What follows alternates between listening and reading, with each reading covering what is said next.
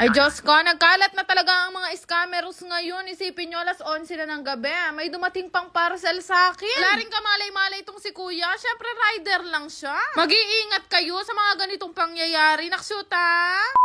For today's ganap nga, maaga nagising ang Disney Princess at ako nga ay dumiretso na mag-voice over. Pag hindi nyo ako kayong tinatrangkaso. Pag hindi kasi ako nakakapag-voice over at nakakapag-upload ng vlog, meron mga nagme-message sa akin, nilalagnat daw sila kakahintay. Gewada ako rugong bioplu. Pero yun nga, nagpaluto nga sa akin si Bebo ng sinigang na saba. Alam mo, ang kakapusin itong saba na meron kami dito sa bahay. Kaya yung isa makarel, yung isa naman eh salmon. Bali, nagisa lang ako dyan sibuyas at saka ng kamatis. Kapag gigisa ko nga, naglagay na rin ako ng konting patis at yun lang naman ang kakailanganin natin. Pagkatapos noon, ibinuhos ko na yung dalawang lata kong saba. At grabe, ngayon na lang ulit ako magluluto ng ganitong sinigang na saba. Sa inyo ba dyan, guys? Ginigisa o sinisigang nyo rin ba yung mga saba? Madali lang yan lutuin, guys. Lagyan nyo lang siya ng sinigang mix at gusto ko dyan yung napaka-asim. Bali, dinagdagan ko lang din yung tubig kasi gusto ni Bebu yung masabaw na ganyan lalo na ngayon tag-uran. Kaluto nga, Ate Manu, sinetap na namin ito pinanunood namin anyo nga sa'yo. Mga hindi pa nga nakakatry sa ganitong ulam, ay subukan nyo rin magsigang ngayong araw. Sisiyahan kayo dahil napakasarap niyan at higit sa lahat, napakamura lang gawin. Alam ko naman gutom na rin kayo, kaya tara, mga tamo po. Nag-abot na nga ang aming breakfast at lunch. Araw-araw ganyan ang nangyayari sa amin. Dito kasi sa Pulilan, ang tulog namin halos alas 5 na ng umaga at ang gising namin alas 2. Ay, nakshoot ha?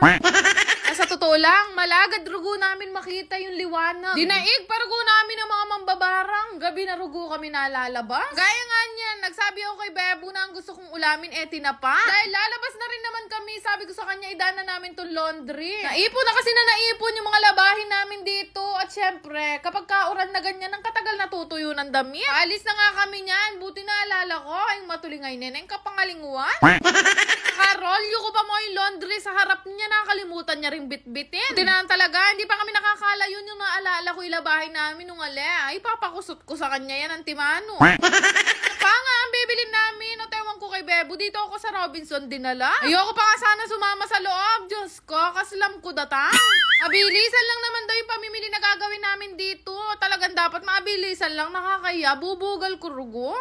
Wala nga sa mga plano namin, ito mga pinagbibili namin. Pero Diyos ko, dahil umuulan, kung ano-ano na yung naisip namin gawin. Antimonyan, bumili kami ng pansampurado. Kailan naman kaya rugo maluluto? Dumiretso na nga kami sa bilihan ng mga karni dahil gusto nga magpaluto ng bistek nitong si Bebo. Wala na kasing pang bistek cut, kaya itong mga pang pork chop na lang yung binili namin. After noon, dumiretso naman kami dito sa mga pang noodles. At alam nyo ba, meron akong bagong natuklasan na napakasarap na noodles. Ito nga yung bagong Lucky Me Chicken na chili mansi. Guys, hindi ito sponsor ha. One time kasi bumili ko niya ng dalawang piraso at sinubukan ko nga. In fairness, gustong gusto ko yung lasa niya kasi may maasim siya nakasama. O siya, sige ako na ang gagawa ng paraan. Hahanapin ko ang yellow basket.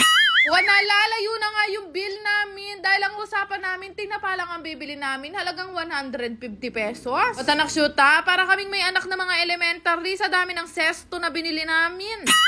Dahil hindi naman karamihan yung mga gulay at prutas na ini-stock ko sa bahay, dito na rin ako bumibili sa mall. Nung oras na nga rin to at minamadali ko na si Bebo dahil inaalala ko baka magsara na go si tatay na nagtitinda ng tinapa. Sige, lahat ng nakakataas ng uric acid, alam mong kunin. O tabalo, tinapa lang ang bibilin namin, pati lotion, nakahanap ako. Kahang bili na nga lang lahat ng mga essential na pinagbibili ko para hindi na kami lalabas sa susunod na araw. Mahirap na, may bagyo na namang parating. Ang importante, makinis tayo. Pero syempre, laking pasasalamat ko kay Lord na syempre na-afford namin bumili ng mga ganitong bagay ngayon. Ay dati rugo ako sa akin timbye, panyalimong payless, ala. Bebuti na lang, may nabiling efficacent oil itong si Bebo. Ay rugo naman, may sakit siya rugo buntok sa bill namin. Sabi, paano hindi sasakit ang ulo mo? Tinapa lang ang usapan natin at kabira, no, ano yung mga pinagbibili mo? Bala mo, ibat ka abroad. Kaya rin nga no, nagmamadali ako niyan kasi hinahabol ko nga yung tinapa. Apin niyan ang sinasabi ko. Naglakad kami papunta doon sa bilihan ng tinapa. Kaya lang sarado na daw. Anak shoot ang bebo. Nano-nano kasi penyalina ni Ngaltin. Hindi kasi siya kumakain ng tinapa, guys, kaya hindi siya masyadong affected. Pagkatapos noon, dumiretso pa kami dito sa laundryhan kung saan nga kami nagpapa-laundry, halos araw-araw. Sabi nga sa amin ni ate, 4 to 5 days daw bago namin makuha itong laundry dahil nga daw sa dami ng nagpa-laundry ngayong linggo, tapos nagkataon pa na palaging umuulan. Gustong gusto namin nagpapa-laundry dito guys kasi mabango tapos hindi sila mahal maningil. Pagkatapos namin mababa yung mga laundry namin, ay umalis na nga ulit kami at naghanap pa ulit talaga kami ng tinapa. Abay never say die, ika nga ng inebra, kaya hanapin natin kung saan pa merong bukas. Kaya lang, pagdating namin dito kala ate, nakakuha na daw yung dalawang sapin na tinapa at ang available na lang daw nila, ebong maluto. Diyos ko, kalaot na naman rugo ng tinapa king ebong maluto. Umili lang si Bebo ng isang piraso at pinapak niya nga to. At ako naman ay dumiretso na lang dito sa bilihan ng prutas. Namili lang ako at nag-pre-taste lang ako ng mga prutas bago nga ako bumili. Kagaya nga nitong rambutan. Umili din ako nitong atis at sabi nga sa akin ni kuya, medyo pahinugin pa daw to at kailangan ko nga daw ilagay sa abias ng ilang araw. For sure, kapag kaya inilagay ko sa abias, ay Diyos ko, uuuri na yan dun makakalimutan ko ng kainin. Pagkatapos nga noon, dumiretso na kami dito sa bahay. Binaba na nga nila Apple, Ditchi at Shaira itong mga pinamili namin sa Robinson kanina. Tapos inutusan ko silang tatlo na ayusin nga itong rep namin. Abay maraming ang laman, pero ang laman naman, Diyos ko, yung mga tagan na ulam at sinasalikot pa nila na ganyan.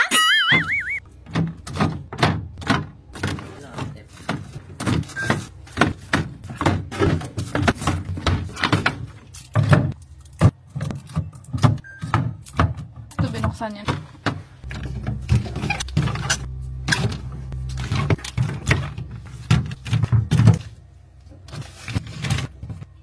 Mo.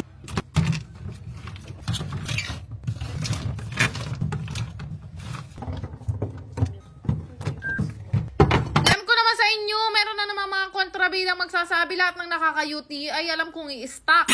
Kaya maya nga, meron naman akong dumating na parcel at ang akala ko nga, na-scam ako kasi nga alas 11 na to nung dumating. Umorder pala ako ng Borsin Cheese na usong-uso nga sa TikTok. Alam niyo naman guys, tawid ako kung ano yung mapanood ko sa TikTok, yung order ko. Galing pa nga si kuya ng Cavite, kuya mag-iingat ka rugo. Pasok nga dito sa bahay, tiningnan nga agad ni Bebo itong binili ko. Sabi niya sa akin, ang kagastos mo talaga. Ang sagot ko naman sa kanya, na-scam ako at kabud lang may nagpadala sa akin, hindi ko naman yan alam. Oh. At in fairness, naniwala siya sa mga sinabi ko, kaya effective pala guys yung mga ganung palusot sa partner natin. O loko, nakahanap pa kayo ng tip. Pero ayun nga, sabi ko nga sa inyo kanina, nagpapaluto ng bistek sa akin si Bebo. Ano naman nagpigana nga ako nitong napakaraming kalamansi dahil gusto ko sa bistek, eh talaga yung medyo maasim. Kagaya nga ng mga bistek na napapanood nyo sa YouTube, eh ganito lang din naman yung ginawa ko. Minarinade ko lang siya ng kalamansi at saka paminta. At syempre, naglagay din ako ng toyo. Hindi lang ako madalas magluto guys, pero sabi sa akin ni Bebo, manyaman daw ako magluto, ay.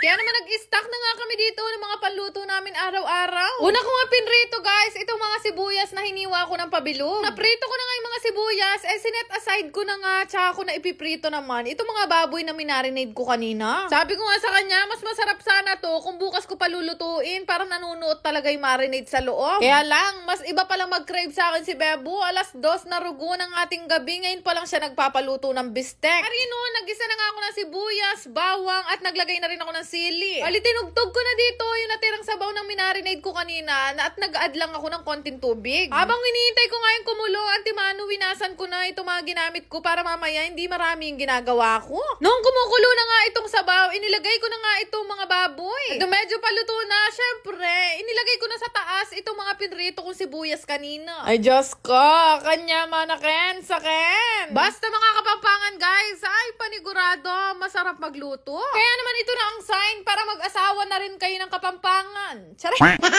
ay, mataras lang kami eh, pero masarap kami magluto at magmahal. Lalo ko. Kaluto tao dito sa bahay at kami nga ay maggagabihan na. Sakto nga lang itong liempo na binili namin para sa aming anim. Para nga kami nagtatrabaho sa call center kasi kung kailang alas dos at saka pa lang kami magdi-dinner. Tama kayo, Rugo, hindi pa kami naliligo. Kaya kami nagtatabaan kasi ganitong oras kami kumain. Oh, napapatams up pa si Bebo, mga nakamangan. Habang nanonood nga kami, aba hindi ko namalayan, wala na palang natira dito sa ulam namin. Sa sobrang sarap nga daw ng sabaw, hindi pa nila yan tinapon. Ninistak pa rugo nila sa rep at bukas daw isasahog nila sa kanin. Pagkakain nga namin, finally, makakaligo na ang Disney Princess, kaya nagayak na ako ng mga damit. Sabi ko nga sa inyo, para kaming housemate ng PBB, dahil wala kaming ibang ginagawa dito sa bahay, kundi kumain at matulog. Stress na nga to ng madaling araw, at ngayon pa lang ako nag skincare Anak suta sa lahat na nag skincare ako yung laging puyat. Nagtatanong nga, meron akong ginagamit na oil sa buhok ko at nabili ko nga yan nung nag-Japan pa kami. Malaking tulong yan para bumilis higit sa lahat, eh kumapal yung tubo. Naglalagay talaga ako ng serum, pampakapal ng buhok, at para kapag ka humaba, eh sobrang kapal. Sobrang effective niyan sa akin, guys. After noon, syempre hindi ko pwedeng makalimutan ang iniinom kong collagen drink. Ito yung Ecotayon na halos dalawang taon ko nang gamit. Kapag kasi nainom ako niyan, talaga naman napakasarap ng tulog ko at parang kumpletong kumpleto. At syempre, magpapabango ako gamit ng Prisha ng Mystery Scents, kaya lang paubos na. Sobrang bango nito guys, may pagka-fruity na floral yung amoy niya at paggising ko kinabukasan, talaga naman naaamoy ko pa. Kaya lang dahil ubos na nga itong Prisha ko, nagbukas na nga ako ng bagong bote at ito naman yung rose. Gustong gusto ko rin yung scent nito guys, para siyang lollipop. At after nun, naghiga na nga rin ako at tinapos ko lang itong Netflix na pinanunood namin. Wala naman nang sunod na nangyari. Matudtod ta na. Naksyuta.